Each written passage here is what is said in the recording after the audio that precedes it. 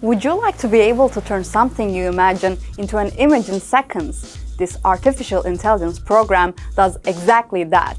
DALL-E, named after painter Salvador Dali and the Disney character Wall-E, lets its users to type in anything and creates a high-quality illustration of that.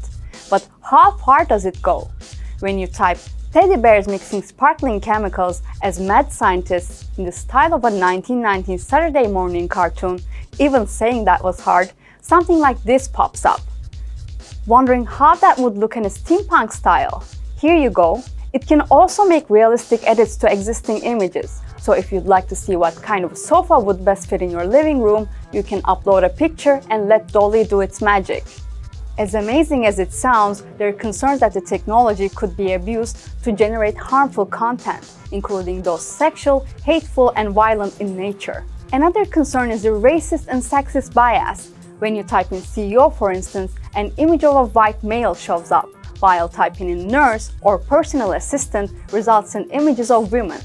OpenAI, the research lab that created the technology, said that in order to mitigate such risks, they made the image generator available to a select number of trusted users who have agreed to its content policy. Only time will tell if such policies will be followed when the technology is made available to the public. However, for now, DALL-E is only limited by our imagination, and it's an exciting example of the role AI could play in creating unique and engaging content.